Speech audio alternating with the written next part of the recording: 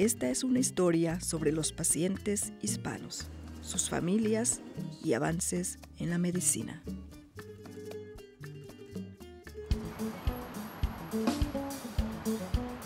Jorge Reulas es un hombre muy ocupado. Él es dueño de una cadena de taquerías y trabaja muchas horas administrando sus restaurantes. Pero tres días a la semana Jorge saca tiempo para nadar. Jorge tiene diabetes y sabe que hacer ejercicio es muy importante para controlarla. Porque el ejercicio es muy, muy importante, la dieta también es muy importante y el hecho de que uno sea muy constante con haciendo el ejercicio y la, dieta para controlar la diabetes. La diabetes es una enfermedad que causa un alto nivel de azúcar en la sangre esto se debe a la incapacidad del cuerpo de producir o usar apropiadamente una hormona llamada insulina.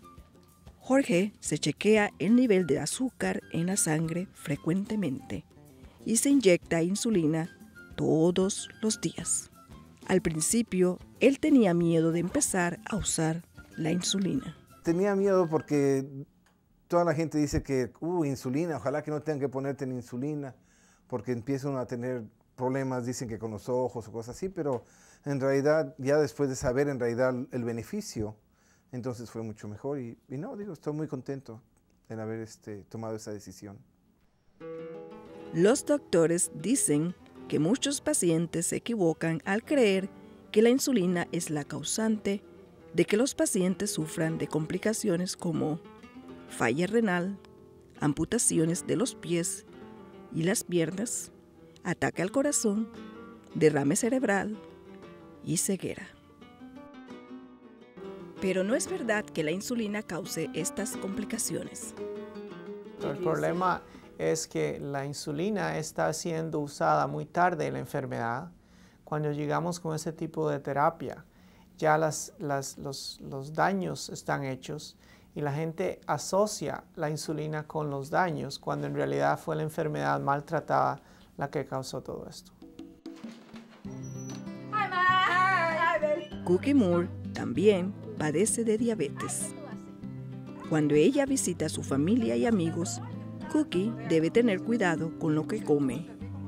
Ella disfruta el tiempo que pasa con la familia Martínez. Pero Cookie considera a la señora Martínez como su madre.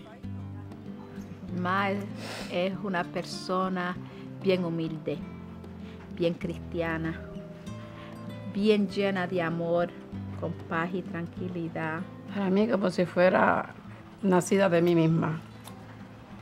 La quiero, la adoro.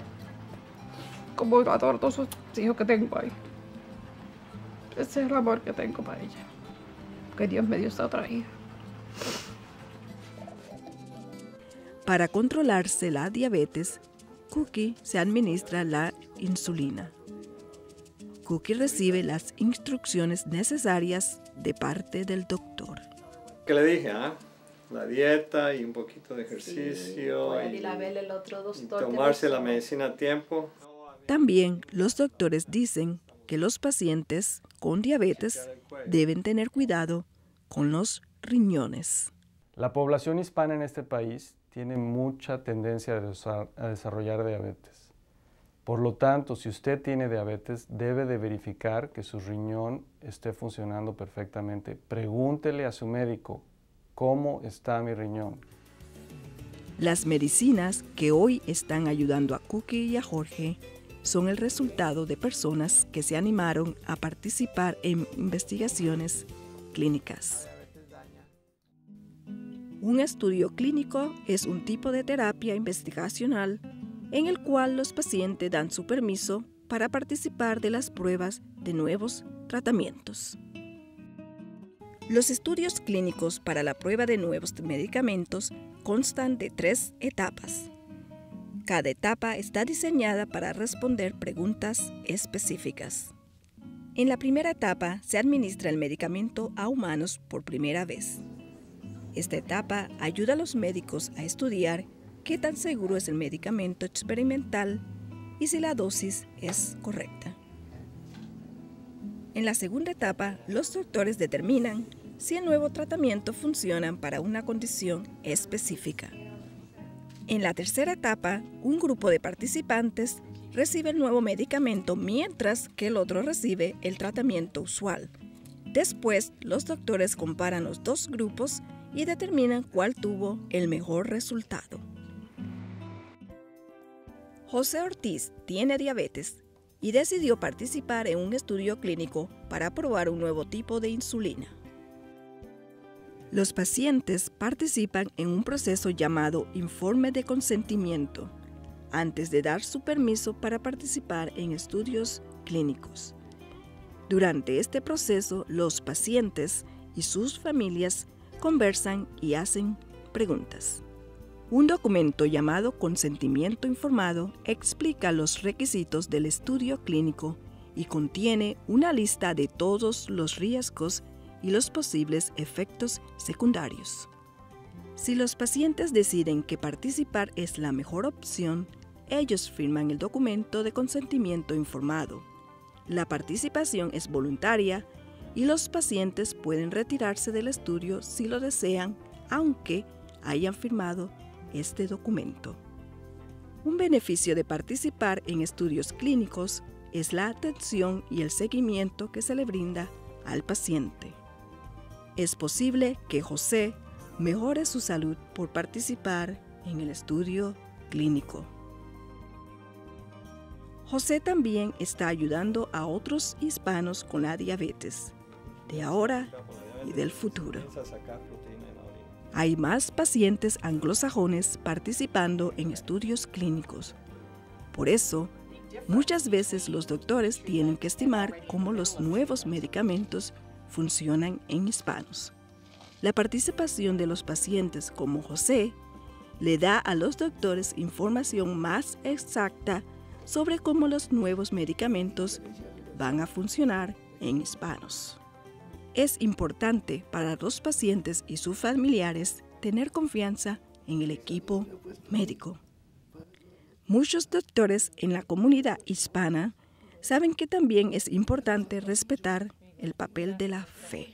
En la comunidad latina, sobre todo cuando hay una creencia cristiana, se sabe que los médicos y las diferentes profesionales son simplemente instrumentos de, Dios para llevar el bien, para llevar algo mejor para la comunidad. Y sin duda alguna nosotros incorporamos eso también cuando hablamos con nuestros pacientes. Participar en un estudio clínico no garantiza que el tratamiento funcione. La familia de José Ortiz espera que el tratamiento resulte bien. Me siento muy orgulloso de ser hispano, orgulloso también de poder contribuir al desarrollo de este tratamiento. Los pacientes como Cookie Moore y Jorge Ruelas están agradecidos con las personas que han participado en las investigaciones clínicas. Estoy muy agradecido a las personas que están usando su cuerpo para que los puedan probar en las medicinas y así poder ayudar a mucha gente. De esa manera pueden, todos sabemos, beneficiarnos, todos por la ayuda de otras personas. Gracias a la gente que participa en los estudios clínicos, muchos pacientes hispanos y sus familias tienen esperanza.